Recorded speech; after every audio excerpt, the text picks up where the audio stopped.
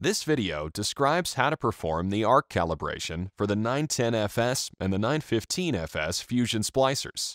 Press the Menu button. Select the Maintenance menu using the right arrow key.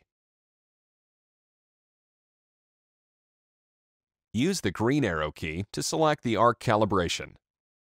Load two cleaved fibers into the splicer. Activate the arc calibration by pushing the green arrow key.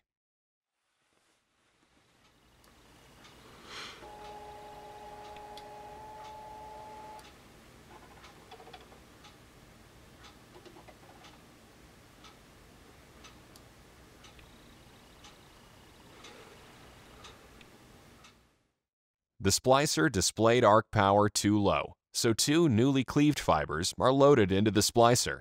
After two newly cleaved fibers are loaded into the Fusion splicer, the arc calibration is continued by pushing the green arrow key.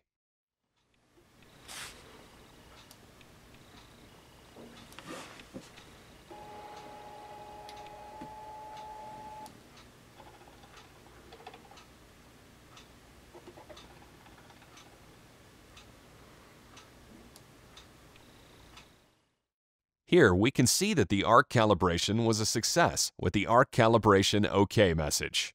This process needs to be repeated until the splicer provides the arc adjust OK message.